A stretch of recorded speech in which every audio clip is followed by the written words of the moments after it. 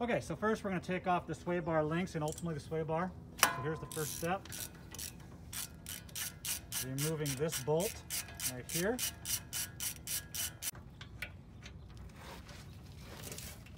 Now you're going to go to this position. Take off these frame mounts for it, for this again for the sway bar.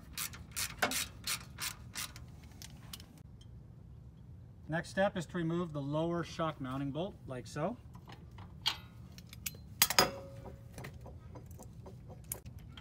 Now, now we're going to go ahead and remove the uh, bolts, the lower bolts from the uh, uh, the ball joint. Like that, and we're going to remove it from the spindle in a moment. Like that. There we go. Be careful. You got everything out of the way, and nothing's going to fall and collapse on you. Ryan's already got the sway bar loose, so that's helpful here we are separated like that. Here's the quick comparison of the two. The uh, OEM Fox on the left, ToyTec on the right. They look similar, but the ToyTec is set at about a two inch lift height. And of course it's adjustable for preload and such so that once you start loading things on, adding parts to your Tacoma or your truck, you're gonna want the adjustability of the ToyTecs over the uh, OEM Fox shocks. So what we're doing now is to get the long bolt out of the upper control arm, the a little bit of the of the body's in the way of the bolt head. So what we're going to do instead of cutting it, we're just going to slightly bend it out of the way like you see here. So we have room to get this bolt, which is probably a solid 12 to 14 inches long, out the front. Does that sound right, Ryan? Yes, sir. Okay, so that's what we're doing. Then we'll bend it back when we're done. So just be gentle, just move it just the minimum. And then you can, as you can see, here he goes. He's starting to wiggle it out. It'll take some finesse, but it'll come out eventually. Yeah. Then you have to worry about cutting and such. Go. So when you remove the upper control arm from the spindle, you won't, you don't want to put too much pressure on the brake lines and ABS and stuff like that. So what I like to do is take a little rope ratchet or a bungee cord and I'll put it through the hole where the uh, sway bar goes and I'll just attach it somewhere nice and rigid so that we can keep the spindle and everything nice and close so we don't put too much pressure on on all these lines here. Come on, baby.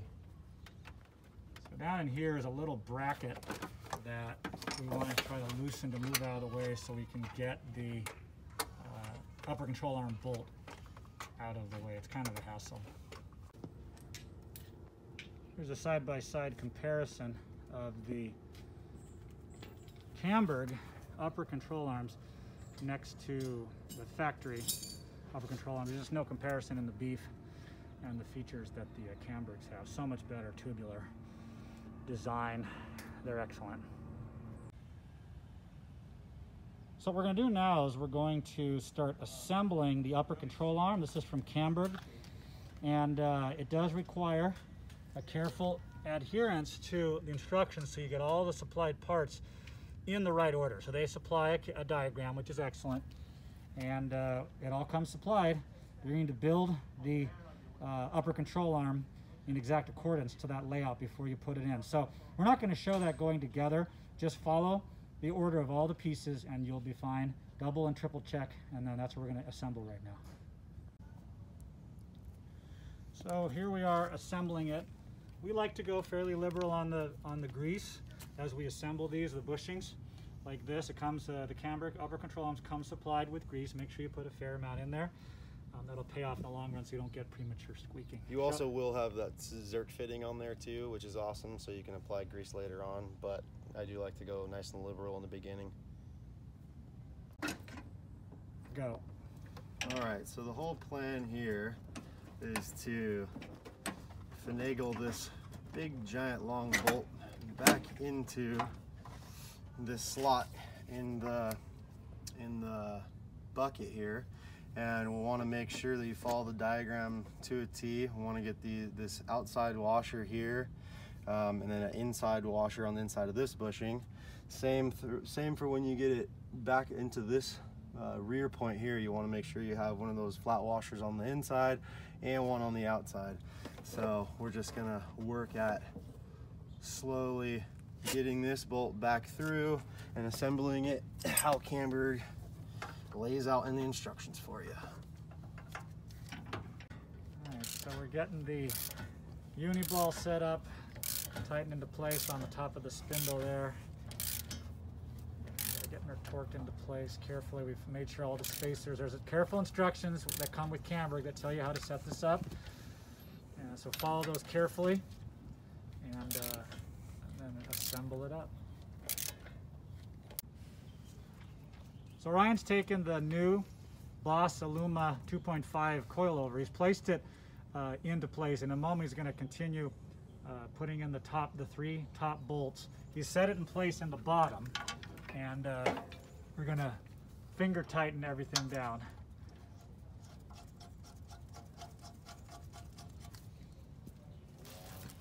So now we're tight. We're tightening down the supplied bolts with the ToyTec uh, ToyTec coilover. OEM is post. These are bolts that go down into the top hat of the of the coilover. We're to go ahead and torque these down.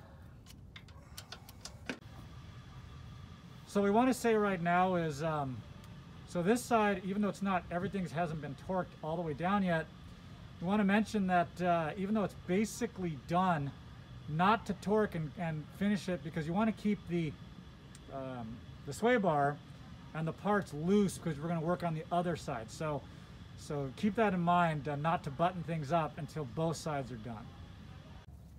So now we're close to buttoning it all up and and uh, we just need to get the tie rod and the sway bar uh, attachment points put back, of course. And then we're going to torque everything to spec, uh, but we still have one more thing to do, which is to put in the sway bar um, drop brackets. And so let's go get to work on that. So these are the supplied uh, spacer blocks that we're going to put in for the uh, uh, for the sway bar, and um, they're simple to lay them in place, and uh, and put the supplied hardware in up in there like that. So here it is all buttoned up. We've got the tie rod and the sway bars reconnected. We've got the spacer over on the right for the um, the sway bar drop. And here we have the absolutely beautiful setup of the ToyTec Boss Aluma 2.5 in conjunction with Camburg's spectacular uh, tubular chromoly upper control arms. We put the dust cap over the uniball there and uh, we're ready to put on some tires and wheels and button this thing up.